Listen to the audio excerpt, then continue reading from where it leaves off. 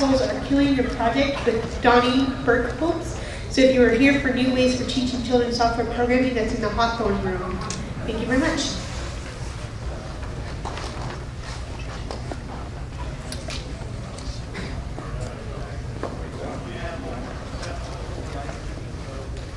I guess there's uh, less interest in saving the kids and more interest in saving ourselves. so I just wanted to start by saying my reasoning for giving this talk in the first place, because I kind of underlies what I'm going to talk about, and I hope it will be able to help you somehow. Um, but the first thing I want to do is just ask a quick question and see if I can get a few answers from some of you, which is, what do you want to get out of this talk? And I'd love to get three or four people just tell me about that. So just raise your hands. Yes? Strategies beyond banning and don't feed trolls. Okay, strategies beyond banning and don't feed the trolls, which are kind of the two polar opposites, right? One of them is ignore them and they'll go away, and the other one is force them to go away as hard as you can. Yeah? Just, oh, go ahead. You go ahead. Okay. So obviously, we're not, because we're. No, I'm being passive aggressively an ass. Uh, So, so how, do how do you, this, this may go to the same point, but funneling negativity into something constructive? Okay, funneling negativity, so what can you do with it once you've got it? And right behind you? Yeah, so, um, one of our, uh, favorite son or favorite daughter podcasts here in, um, Portland, Strangelove Live has been beset by trolls in our chat room. In fact, the Strangelove cameras and the, and the beautiful Strangelove camera person is here to record this to find out what we can do other than those strategies named.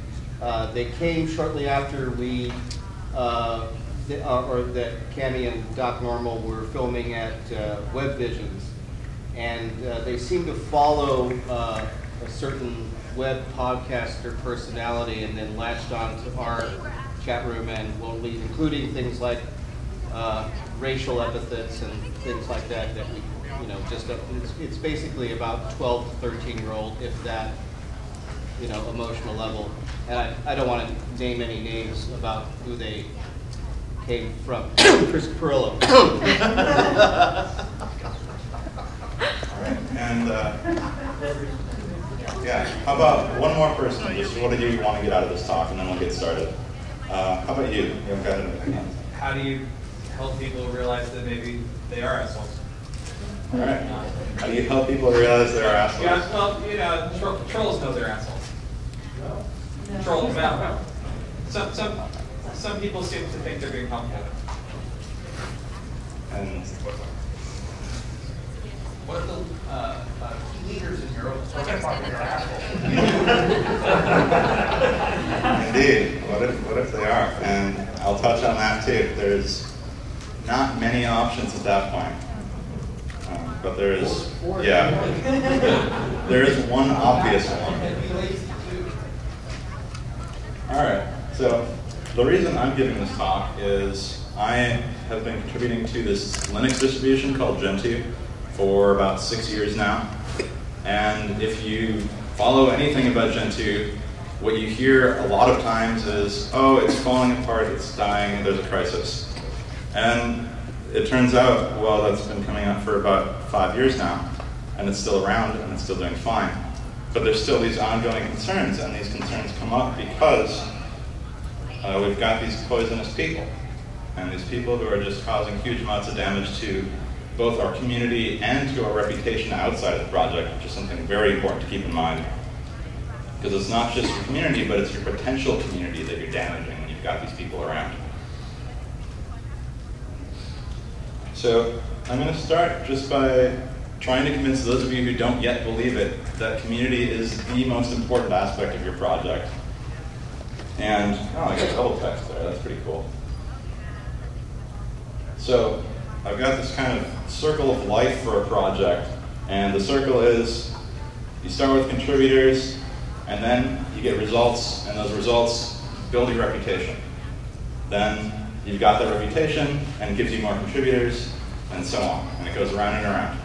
And so if you're missing any one of those three things, your project is not going to keep growing. People are going to leave it because your reputation is going to get worse.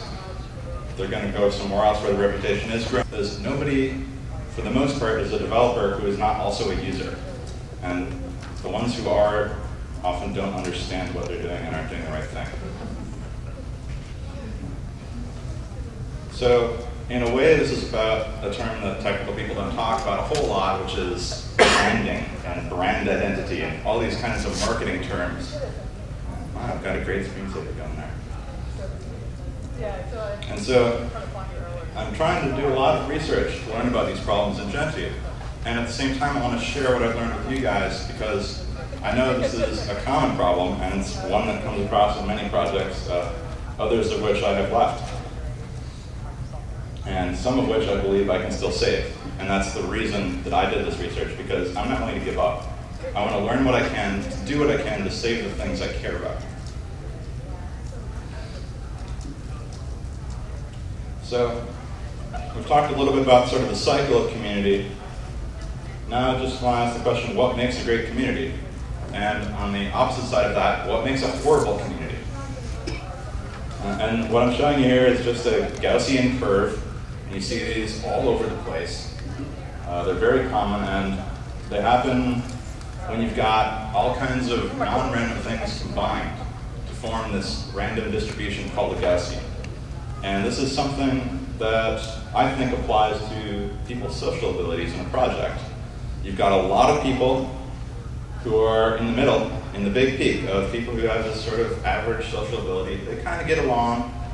Um, they don't go out there being the superheroes and calling everyone else a jerk when they're acting like a jerk and saving the day. Certainly on my screen. And then we've got the outliers, and we've got outliers on both sides. There's the ones who are the best, the superheroes of the project, and there's both technical and social ones, and rarely you get both of them. And then, on the opposite side, you've got the other outliers, the assholes. And these are the guys that I'm going to focus on today. Now, the reason I'm showing you this curve is to get you in the spirit of thinking about being quantitative and using measurements to try and get an idea of what the actual impact is on your project. And you can do all kinds of different measurements to try and figure out who is contributing, who isn't you can do this in a technical sense by looking at commit rates or how often people post to a mailing list. But trying to measure the social influence is a lot harder. And you can still come up with numbers though. One of my favorites is if you look at someone who you think is an asshole, you watch how often they post on a mailing list, and you watch how everyone else's posts go down right? Because they're scaring people away. Or you watch how often you get new subscribers and how often, how quickly do they unsubscribe after they've joined. And if you've got all these people who are unsubscribing, even after they think it's a list they want to be on, because the archives are right there for them to read, then you've got a serious problem with the attitude and with the social environment that's available and that's happening on your list. So one thing that's really important to making a great community and avoiding a horrible one is trying to come up with some kind of numbers because how do you know you're improving if you can't measure it? You can come up with this kind of hand wavy feeling like, oh, I, I think we're doing better, you know. But it's better to have an imperfect measurement than it is to have no measurement at all. No measurement is ever perfect, but yet people still continue to use them and they're still valuable every day. Now, one point I really want to make while we're looking at this is the question of take a look at both sides of this. We've got outliers on both ends. And both sides are about even. Right? There's a few superheroes and there's a few super assholes. But the question is, do they really balance each other out? Right? And I see a couple people shaking their heads now. Um, I agree with you, just to say now. And I will explain more about that later. And there's a couple of different ideas behind that, one of which is is there this kind of one-to-one balance? Can one person being good balance out another person being a jerk? And the other question is, how much does it hurt people when you're a jerk versus how much does it make them feel better about themselves when you're nice? And since people are generally nice, you can imagine that it might have a little bit smaller effect when they continue to be the same way they've already been. But I'm going to show you some numbers later that will really take that point home. But first, I want to talk about the definition of an asshole. So before we can decide what the impact of these people are, we have to figure out who they are and how to tell what they are who they are. So one thing that definitely doesn't make an asshole is two people arguing with each other. And a lot of people think this means the project is going to help. But no, conflict is good. Right? And people have done psychological studies that say when two people are arguing about an idea and you have two sides represented, you come up with more and better ideas than if you've only got one person and no disagreement happening. And it turns out that this ties back into the idea of an asshole because if you've got one person who's being a jerk, you're not going to get the other side represented because they don't want to get insulted. And so the key here is to focus on you're arguing about the ideas and you're not insulting the people. And this is something that most people understand in technical communities, right? Because the idea is that everyone is equal and you're talking about the ideas, right? A new contributor should be able to come in and say, here's this brilliant idea. And everyone should be able to think about that idea on the same level as if someone who'd been there for 10 years suggested it. And this mostly holds true. And you know something really interesting that I've read is Intel actually offers classes on how to have conflicts with people. So how do you argue productively? Because they know the value of argument. But they also know that it's easy for these arguments to descend into personal attacks. And that's really the key of what, what the difference is between an asshole and someone who's trying to innovate and trying to be creative by arguing. And so here I'm going to show you two tests of what makes someone an asshole. And I got these tests from a book that I will tell you about later, so you can read all about it, because I've only got a few minutes here and I don't have time to read the whole book to you, nor would it be very interesting. So the first test is basically, after talking to this person, do you feel bad about yourself? And if you do, then that should be pretty solid indicator that this person is an asshole. and the secondly is, is everyone targeted equally?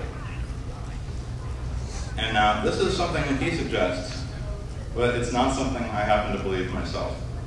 Because really, is it, I mean, discriminating against people by being more mean than others, is that really something important? Because being equally mean to everyone doesn't make it any better. Right? There's no affirmative action for assholeness.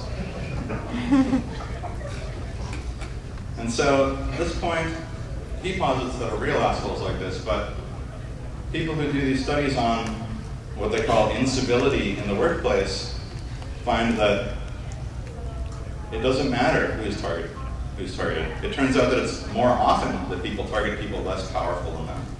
And in an open source community, this is often people who haven't been around for as long, people who haven't built up the kind of solid reputation as a community pillar or whatever this asshole managed to become somehow. But it can go the other way, and that's often what people call trolling, right? Someone you don't know comes into the community, and they just start insulting and ripping apart everything and everyone. So it goes both ways. And that's why I feel like the first test is really the key one here. Right? So do you feel bad about yourself after talking to this person? And it's a very easy test. It's either a yes or no question. If you want, you can do a 1 to 10 scale and say, well, I was on a 10 when I walked in the door, or when I got this IM. And after I closed it, I'm at a negative 2. And that happens. In fact, I just read something on Twitter the other day from, uh, who was it? The executive director of the GNOME Foundation. And what she said was, I just realized why I've been in this bad mood for the past hour. It's because of an email I got 25 emails ago. And so these kinds of things really stick around. But really, the key point isn't just do you feel bad about yourself, but it's patterns. Patterns of behavior are the key. Because everyone has their bad moments. But the question is, who is always having a bad moment? Right? And if you're having bad moments 90% of the time, you might be an asshole. But if you only have a bad moment once every week and you send out 2,000 emails every week, you're probably doing pretty good. You know, every once in a while, you're a jerk. You're an asshole. And maybe you should apologize afterwards. Because you're not an asshole, so you realize what you're doing, and you feel sorry about it.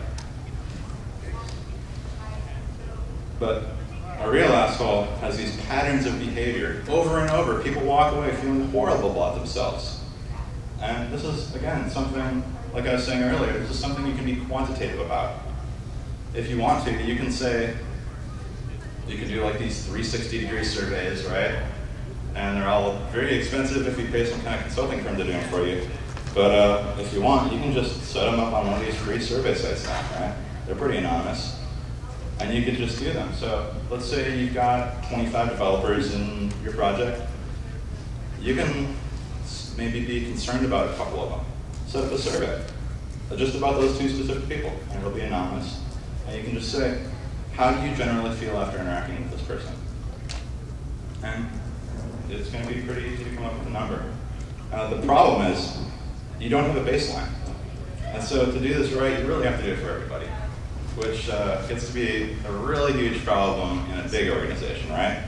Like, let's take a look at Gentoo Linux. We've got about 250 developers. Everybody doesn't even know everybody else. So how can you possibly fill out a survey that says how you feel about this other person? And yet, it's an, it's an imperfect measurement, but it is still a measurement. So just say the people who know you, the people who interact with you, they should fill it out. The rest of them can ignore it. And so that's one kind of very straightforward measurement you can do to ask, is this person an asshole? But the key here is patterns, and psychologists say this is states versus traits, right? And a state just means it's, it's a state of mind you are in temporarily. So instead of temporary insanity, you're a temporary asshole. And other people need to be committed to the asshole asylum. but the problem is that over time, it becomes less and less obvious to those people who have been around who the real problems are. Because you build up a tolerance. It's just like taking a drug. And I suppose I should say a bad drug in this case instead of a good one. But either way, over time, you build up this tolerance and you don't really realize the impact it's having on new people. And I think one good example of this might be uh, the Debian development mailing list, where it's very common for some of the assholes to just get put on ignore by every active developer. So none of the active developers even see this is happening. But yet, every new subscriber to the mailing list sees this horrible environment. And it's the new subscribers who are going to potentially turn into new committers and keep your community afloat, right? Because over time, your current developers are going to move on to other things, whether in a volunteer project they get busy, or they graduate from college, or they find another project they like better, or in a job, they get a better job, they get promoted, whatever. And so you need this inflow of new people who aren't being scared away by the environment of your project. You really need to be on the lookout for whether you're building up a tolerance to these people and not seeing their patterns of misbehavior. Uh, I mentioned that I was going to come back to this idea earlier of does the good balance out the bad? And now we're back to it. Um, and so the question I want to ask here is does one insult balance out one compliment? And people have again, done studies on this kind of stuff. This is a hugely popular field called organizational behavior. You can find all kinds of books about it. And it turns out that, well, no, it doesn't balance out. But how many positive interactions do you think it takes to balance out one negative one? 10, 20, 100, 3, 100. 100, Or two? there it is. 42. Well, let's see. I made some more arrows so we could really have fun with this. So, two, well, three, four, five. So a negative interaction is five times more powerful than a positive interaction. And if you think about that on a whole project level, what that means is that you have to have less than one sixth of your people be assholes to even break even. Right? One sixth. So that's somewhere between 15 and 20% of your people. And that just means you're barely breaking even on positive versus negative. So the overall feeling, right? But if you want to build a better community, you have to beat that, right? You're not going to improve by staying the same.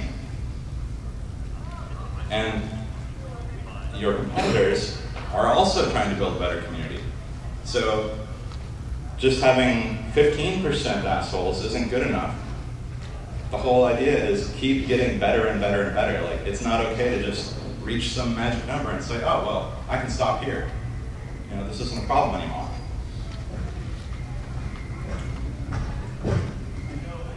And one thing that will impact a lot of people here is something very interesting I just learned a couple of days ago. And this is that there is a huge gender difference in how people react to this kind of behavior. And this is a huge reason for the lack of women in hostile open source projects. Because it turns out that, and I'm not saying every single woman acts like this or every single man acts like this, but on the whole, when a man is attacked personally, is insulted, he fights back.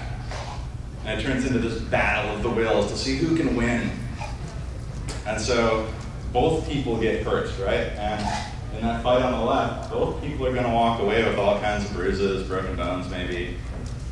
They might go to the hospital afterwards. And that's what it's like when you've got these male assholes attacking other males. But what if they attack a female? Well, what happens in most cases is that the female avoids the problem instead of retaliating. And it makes sense, right? If I'm in a bad environment, why would I want to stay there? And so there's this huge difference in male versus female reaction to being an asshole that makes it even worse in open source communities or in other hostile environments than it would be otherwise where you know there's already a low ratio of women in technology. And we just make it even worse by being this way. And uh, if you want to read more about that, uh, I'll share a book with you at the end. So you can look this up for yourself. I'm not making this stuff up. And in addition to this, it's the leaders of the project who get held at fault if you've got these assholes around. So it's not just the assholes themselves who get blamed, but it's the leaders of the project who get blamed for their inaction. And it affects the project as a whole, and not just these people within the project who are taking the actions. It's, it's really bad all around. It's not just bad for a couple of people. Now, this is a huge list of stuff, and I'm not going to go through every single detail of it, but this is just some of the problems that are caused to the targets of the insults. Right? So the people who are actually getting insulted personally. And there's also many more indirect effects to the people who see it happen and to broader people throughout the project. But what you can see is that this is a survey from, I think, 2,000 employees, and they came up with these numbers. Look at huge drops in quality, in performance, in the amount of time they work, um, in the, how hard they work, and the quality of their work. And what you can imagine is that in a volunteer project, this becomes even more severe because people aren't paid to stick around.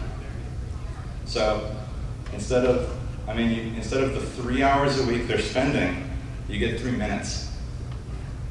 And suddenly your project is falling apart because you've got these people who are chasing everybody else away. Now, the bottom line is what I want to concentrate on some more. And that is 25% of those people targeted by assholes end up quitting. And the problem with this is that it's very hard to track down because they might quit up to a year afterwards. And so this isn't something that you see when you're looking for a cause and effect of why they quit. It's something that builds up over time. Like you don't realize that it's these little small misbehaviors that have been happening for a year, and suddenly they just, you know, they're the straw that broke the camel's back. And the person breaks and says, you know, screw it. This isn't worth it anymore. I'm not even having fun. So why should I stick around and contribute to this project? But even more interesting than the 25% of the targets who quit is the 20% of the people who witness it. And again, this is critical in open source projects because you have open mailing lists. Everybody's a witness if you're an asshole on a mailing list. Anybody who reads that sees it. Now, you can argue these percentages a little bit. I've looked at some other studies where maybe they see, okay, 15% quit instead of 25%. But still, that is, that's like an annual ratio. And so it really starts to add up over time because if you got a new contributor, out of four new contributors, one of them is gone. All right, 25% loss. And then you've got three left. Uh, that's 20% of them quit, so now you've got 2.6. And then you're really in a tough spot.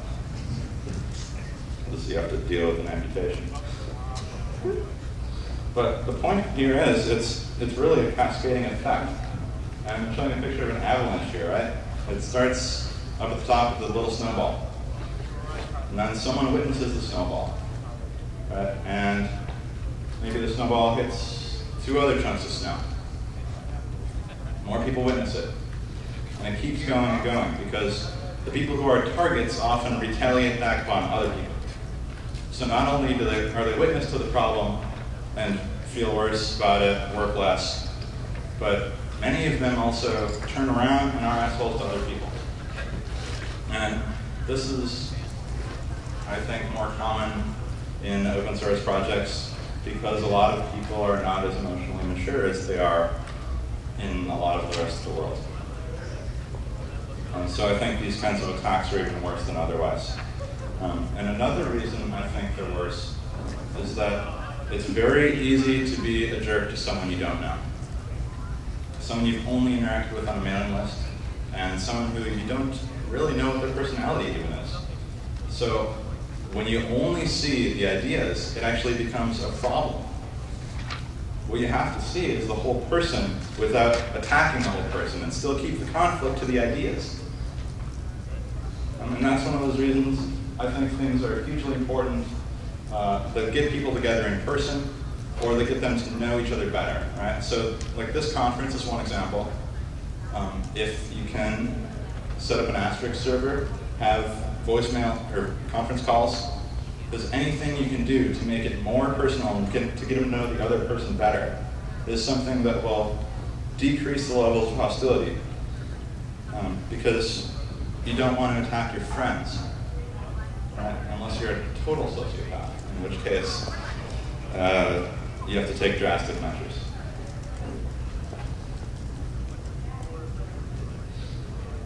Um, so I've talked about a few of the problems that these assholes cause to their direct targets and a little bit of the cascading effect. Um, now I want to talk a little bit more about, I'm not even sure how many bullet points I have here because there's so many problems.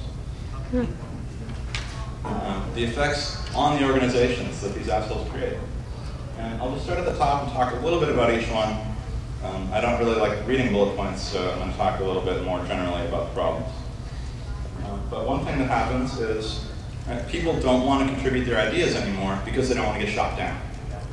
Right?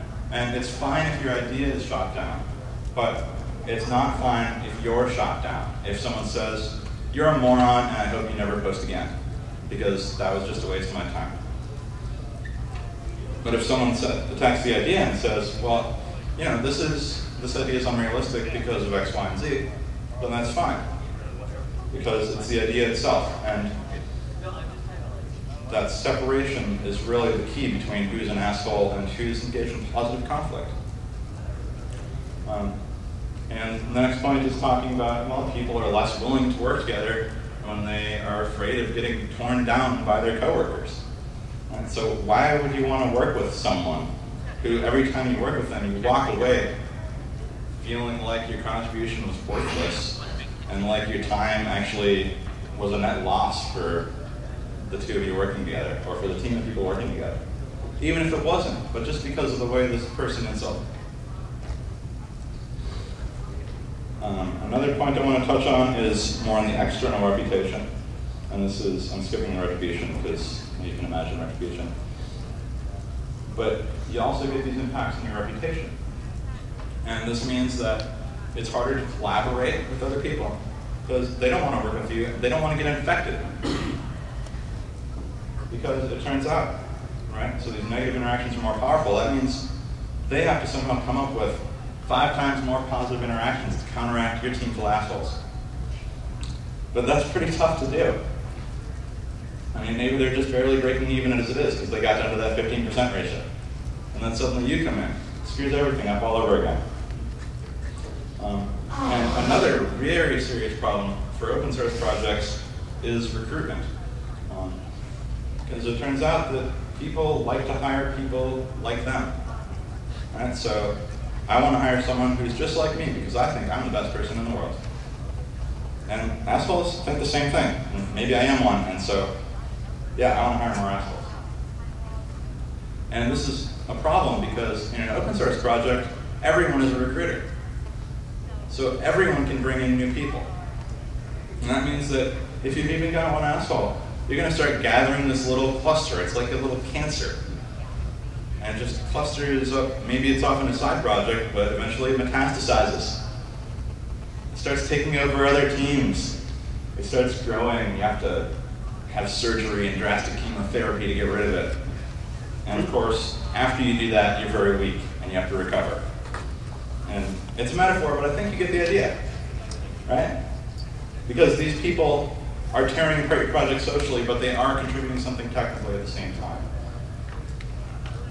And so you have to figure out a way to deal with the temporarily lower rate of productivity somehow. But it turns out that normally makes up for itself after a very short period of time. Um, and one example I remember from this book called uh, The No Asshole Rule, from which part of this is taken, but not all of it, is that this company had its best salesman, complete asshole, right? He went through 20 assistants in six months. They were always trying to hire new people. They're blocking him off from everybody else. But it turned out that after they fired him, their productivity went up by 30% because everyone else was so much more motivated again. And this is a very common theme in, in when you get rid of an asshole is that everyone else is just thrilled about it. And it's an extremely difficult decision when you're thinking about it. Right? It's you're arguing and you're like, oh well, you know, they, they do stuff, they contribute, uh, it's so hard to get rid of them because we can't really measure how much of an asshole they are, but we can measure how much code they commit. And that's why you want to be quantitative about both sides as much as you can. Because every time you say, oh, well, this guy's an asshole, someone's going to say, but he contributed 2,000 lines of code last month. And you have to have a way to counter that and to deal with both sides of the issue.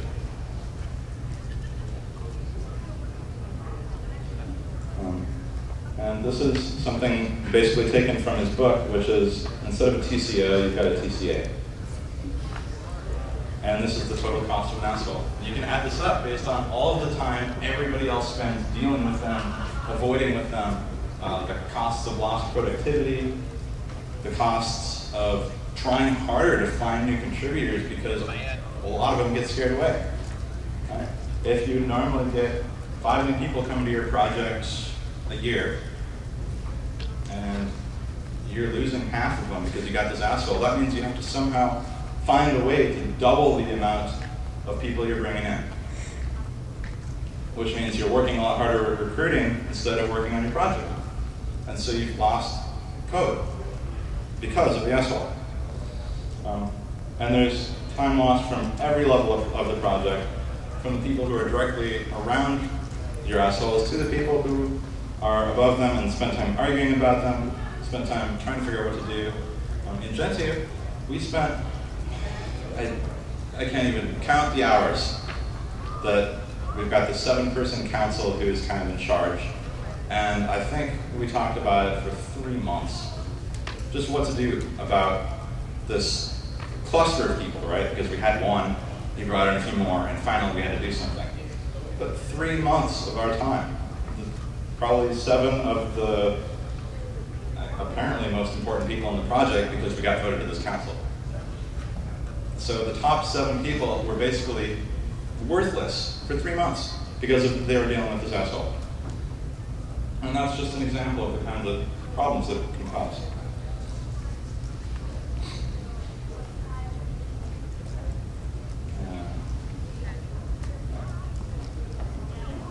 So, this is one of the key points I want to make is that an asshole is incompetent developer. They may be a very good coder, but a project is not just about coding. A project is about being able to work with other people, right? And anytime the word politics comes up, people just say, oh God, politics, I hate that stuff. But what is politics? It's just how you make decisions as a group. How do you work with people? And if you can't work with people, you're not going to get anything done. And that's why I posted this falling down house, right? There's a group of people who worked on it, and I guess one guy brought the rusty nails. And that's what the asshole is doing. There's these miscommunications, or what was it, like a satellite or something that crashed because there were metric instead of English units? Well, it's the same concept applied to social ability. Right? You have to be able to work together as a team. And if you can't work together, well, maybe your APIs will be broken, like if one of you is working on a library, one of you is working on a tool, but you're not willing to talk to each other, and you're not even willing to respond to someone else's post on the mailing list, then your API is really going to suck. It's going to be like it would be a proprietary one, right? Because you, it's like a black box. You can't modify it because you can't talk to the person about it. Um, so I want to talk a little bit now about how do you fix it. and I was very pleased when I came across this picture on Flickr this morning. Now, I want to point that to you, so the home run on the right parked first, and he's a bit across the line. Now, the one on the left you can't really see it well from here, but uh, that's not two rows of parking there. That's a road behind it. And the guy's parked in the middle of the road. Um, and so this is today's assholes, right? What do we do about them now? We've got them. So we're not at a point anymore where we can prevent them from entering. We're at a point where we have to figure out what to do about them now that they're here. Um, I already talked some about personal interactions. I think this is the easiest and the best way to deal with it is just try and increase your level of personal interactions and get to know everybody better, right? If you only interact on a mailing list, get an IRC channel or some kind of chat room. Because these those kinds of informal chats are the kinds that really help you get to know the people instead of the ideas. And once you know the people, it's a lot harder to attack. So start an IRC channel. Uh, if you can afford it, have a conference. If you can't afford it, have a conference because you can come up with money somehow. I mean, go find a university, they're cheap, they'll probably donate some space. All you have to do is come up with uh, for plane tickets from McDonald's. You're good to go. Um, another thing you can do is simply model what a good interaction is like. Right? So if you're not an asshole yourself, then you're not setting that kind of example for other people. Um, and the step beyond the modeling is trying to show people what your community norms are, right? Trying to let them know uh, what's okay and what's not. Because it takes a long time to really understand a culture when nothing about it's written down. It's like undocumented code, right? It takes a long time to dig through it and really see what's there. And it's the same way with culture or project. You have to kind of sit back for a while and learn and really get a feel for what it's like. Um, and so one thing that I really like to do is create a code of conduct, right? And this code of conduct isn't a set of rules to be enforced. It's a way of communicating what your culture is like. Because once you start writing down rules, what happens is that the assholes find the loopholes. And so you didn't get anywhere except into some kind of huge civil court case where you're arguing about whether you violated the rules. And so it's not even about whether someone was in the right or in the wrong anymore. It's about whether they fit through the loophole. Right? And it's today's court system exactly too, right? People squeeze through the loopholes. So maybe OJ is a murderer. Uh, civil court thinks so. Criminal court doesn't. Because you can find loopholes. Um, and in addition to sort of modeling on the local scale and on the global scale by communicating what your culture's like, you also want to have a way to deal with people who are being assholes. Right? So what do the targets do when they get targeted? If they don't have anywhere to go, that's when it really becomes a problem. And so you want to have a place up here that says, okay, uh, if someone's being an asshole, tell this person, email this address, go report it here.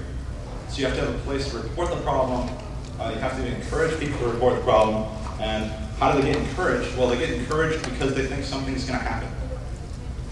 So if you've got this great code of conduct that says, oh, well, we don't tolerate assholes here.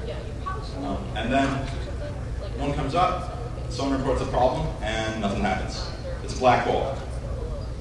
That's even worse because now you're a hypocrite too. So it's very important that you have a mechanism for reporting these problems, you encourage people to report them, and then you respond quickly. And you respond both to the person who reported the problem and to the person who insulted them, right? And now responding doesn't necessarily mean giving them a big kick in the ass, because maybe they weren't an asshole at all, right? And that's when you have to start to look for patterns. Because one instance is not a pattern. But if it turns out that, well, I got two complaints filed against me. Someone else got two complaints filed against them. Someone else got two complaints filed against them.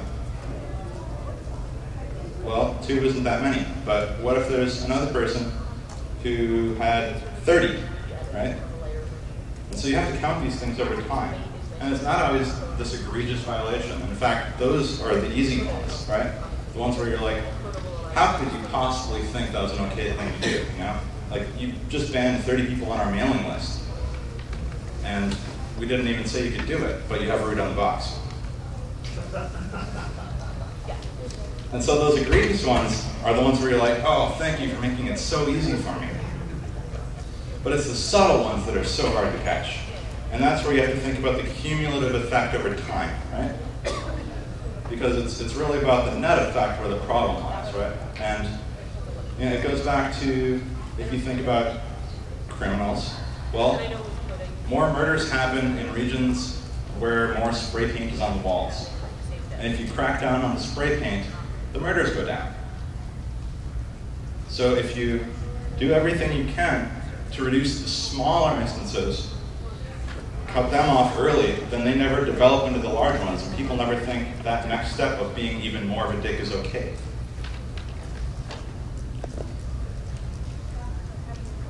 Um, and now, one other thing I want to say is, all of those projects out here have a mission, and I don't think any of them have a mission that is uh, make these assholes better people. Right? You're all trying to write software or do something else. And so the question is, well, this is not a characteristic that is easy for people to change. Is it your job to change them? Or is it just your job to say what's okay and what's not? Um, and that's what I think. Because getting people to change is very, very hard and it takes a long time, especially for these basic characteristics. Um, and so, what I say is, okay, try a few times, right? See if you can get them to change. But after you've tried three times and they still haven't changed, they're not going to get it. Like it's nothing's ever going to change. They're just going to keep going forever. Um, about out of time, aren't I? So let me wrap this up. Uh, tomorrow's assholes. We've already talked about having a code of conduct, and this is for communicating the culture, not for rules. In fact, I recommend avoiding writing down all of the rules as much as you possibly can. Uh, because, like I said, if you write them down, people look for loopholes. What you want to have is a culture and a group of people who kind of maintain that culture and who can tell people what's going on and agree about whether something's right or wrong. Um, and the other key point I want to make on this is recruitment standards. Right? So you can figure out early whether people are assholes. And I recommend that you try and do a little bit of research before you bring them on. And also that you have some kind of a probation period. Because it gets really, really hard to get rid of people in a volunteer project. Right? You can remove their commit access, but they still stick around. Uh, you can ban them off your mailing list, but they resubscribe. And so the best thing you can do is, before they get commuted to your community, try and figure out whether they belong in your community. i get old Um, I'm out of time, so I'm not going to spend any more time talking about that stuff right now, but I'll be around uh, all night. So um, here's three books that I recommend for learning more about. Uh, the first one is The No Asshole Rule. This is a very good book. It's a, it's a short read. Um, the Cost of Bad Behavior is where a lot of the research came from, and this book is coming out in about a month. And um, Getting Past No is a really nice book for if you can't get rid of the people, how do you deal with them? And I didn't have time to get into that at all, unfortunately. But uh, the basic thrust of it is agreeing with them as much as possible and avoiding them when you can't agree. Um, so I want to leave you with this. In the long run, dealing with assholes is never worth it. Thank you.